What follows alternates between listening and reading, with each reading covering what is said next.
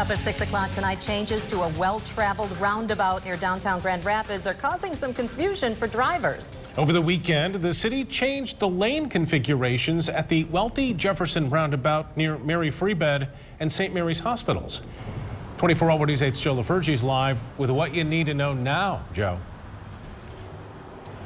Yeah, Brian, take a look uh, here at the roundabout. Now, prior to this weekend, traffic hitting the roundabout here at Jefferson and Wealthy could use both lanes to get all the way through the roundabout and make the round.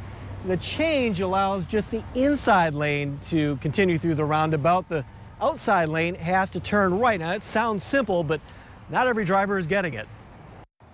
It seems like there's a, a little bit of confusion on the commuters uh, as to what is the process they need to follow.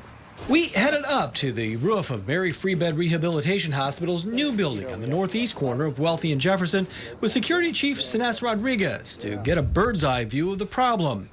Watch as one, two, three vehicles come close to playing an unintended game of roundabout bumper cars. They're not seeing that the uh, the outside lane is the uh, the lane that you're supposed to uh, make a right uh, onto Jefferson.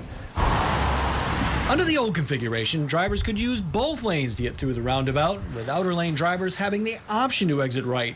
But that path led to not just a number of parallel sideswipe crashes, a lot of pedestrians, mostly Mary Free Bed employees using the crosswalks between Jefferson and Lafayette, had to dodge drivers distracted by the old lane configuration. And so not only have one vehicle, but you had two vehicles of drivers that are concerned about hitting each other, not aware of the pedestrian that was in the crosswalk.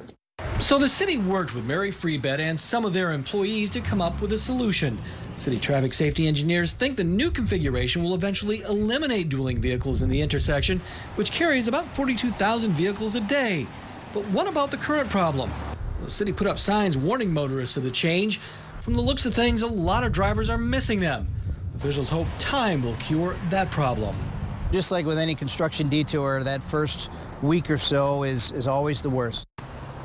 Back here live at uh, Jefferson and Wealthy. Now, we check the numbers too on crashes here. Zell tells me the number of crashes now since the roundabout has been put in is about the same as it was when this was a traditional intersection, but he says it's still a safer intersection because the crashes are slower speed, kind of the side swipe variety that don't cause as much injuries as a T-bone crash will at a normal intersection. Those can be really dangerous.